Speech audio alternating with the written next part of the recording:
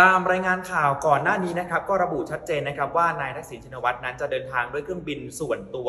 มาจากประเทศสิงคโปร์แล้วก็มาที่สนามบินดอนเมือง ซึ่งก็จะใช้อาคารเครื่องบินส่วนบุคคล ซึ่งอยู่ทางทิศใต้ของสนามบินดอนเมือง จะไม่ได้ใช้อาคารปกติ ที่เหมือนเวลาผู้โดยสารทั่วไปไปใช้บริการที่สนามบินดอนเมืองนะครับ ซึ่งอาคารหลังนี้ก็จะมีทั้งการผ่านพิธีการศุลกากร และพิธีการตรวจคนเข้าเมืองได้เลยนะครับมีสิ่งอำนวยความสะดวกทั้งห้องรับรองพื้นที่มากกว่า 3,400 ตารางฟุตนะครับแล้วก็มีสิ่งอำนวยความสะดวกต่างๆ ด้วยครับ ส่วนกระแสข่าวก่อนหน้านี้นะครับที่ออกมาเปิดเผยกันว่าในเที่ยวบินที่มีการขอแจ้งเดินทางเข้าประเทศไทยที่เป็นเที่ยวบินส่วนบุคคล ไม่ได้มีรายชื่อของคุณทักษิณปรากฏอยู่เนี่ยนะครับจากการตรวจสอบของไทย PBS กับแหล่งข่าวในแวดวงด้านการบิน มีการยืนยันนะครับบอกว่าถ้าหากผู้โดยสารคนไหนหรือว่าใครก็แล้วแต่ที่จะเดินท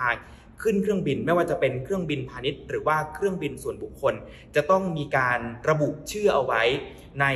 passenger manifest ครับ ซึ่งเป็นแบบฟอร์มในการกรอกรายละเอียดของผู้โดยสารที่จะเดินทางไปกับเครื่องบิน เพียงแต่ว่าเงื่อนไขอยู่ตรงนี้ครับ จะถูกระบุเร็วช้า